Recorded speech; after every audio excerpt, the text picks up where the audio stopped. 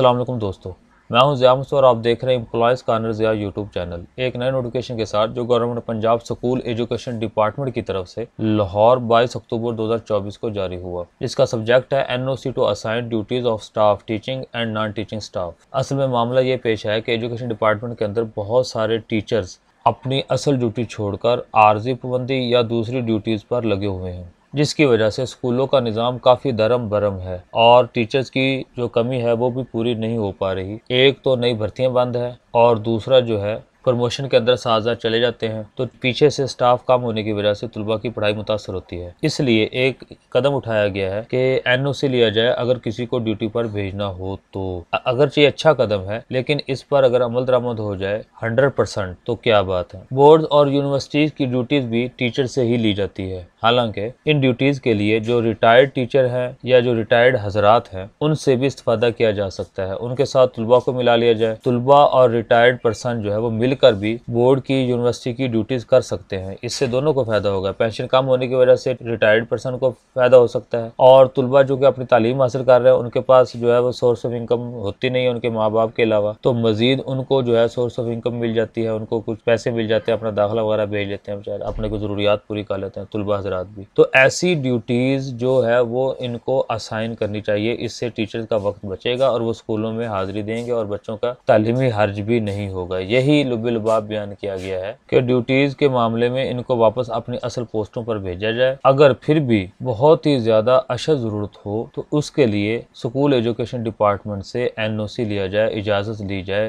तभी वो ड्यूटी कोई परफॉर्म कर सकता है। अदरवाइज़ खुद ब खुद टीचर अपनी मर्ज़ी से ड्यूटी लगवा ले, या महकमा जो है ऑफिसर अपनी मर्ज़ी से किसी भी टीचर उठाकर उसकी ड्यूटी पर भेज दे। ऐसा हरगज नहीं हो सकता। ऐसे मुफीद अपडेट्स के लिए हमारे चैनल को सब्सक्राइब कीजिए।